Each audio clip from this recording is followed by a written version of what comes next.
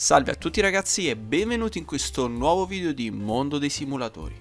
Oggi vi spiegherò come usare un secondo schermo su Eurotrack Simulator 2 per implementare funzioni come il GPS o una dashboard generale che vi permette di monitorare tutti i dati del vostro camion in tempo reale senza avere UD sullo schermo principale.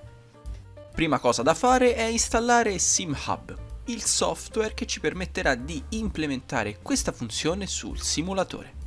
Link del programma in descrizione e al termine del download e dopo aver installato il programma attraverso il file eseguibile assicuratevi di aver connesso tutti e due i monitor al computer ed avviate quindi SimHub.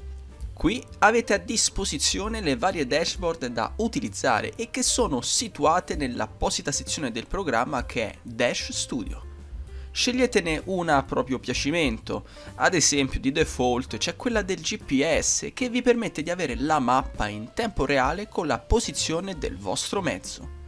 In descrizione vi inserisco anche un link con altre varie dashboard del cruscotto che dopo aver scaricato, per trovarvele su SimHub dovete inserirle in un'apposita cartella situata nel percorso Programmi per 86, SimHub, Dash Templates ed infine Eurotrack.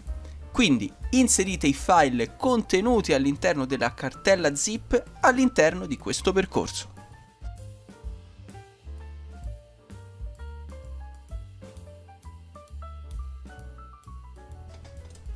Ora ricordatevi prima di tutto di settare il vostro schermo principale dove verrà visualizzato Eurotrack facendo tasto destro col mouse sul desktop dopodiché impostazioni schermo ed infine imposta come schermo principale.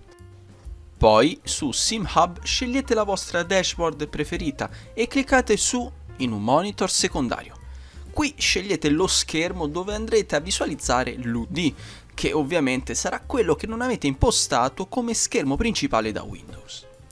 Infine avviate Eurotrack Simulator 2 scegliete il vostro camion, mettetevi in strada e SimHub comincerà a funzionare in maniera automatica non appena sarà stata caricata la partita. Vi ricordo inoltre che, nonostante voi magari non avete un vero e proprio monitor, potete utilizzare SimHub anche da cellulare, come potete vedere da questa foto. L'operazione è molto semplice ed il software vi spiegherà passo per passo cosa dovete fare. Ricordo infine che questo software può essere utilizzato su tantissimi altri simulatori, come ad esempio Assetto Corsa. Cari ragazzi, un saluto dal mondo dei simulatori. Ciao a tutti!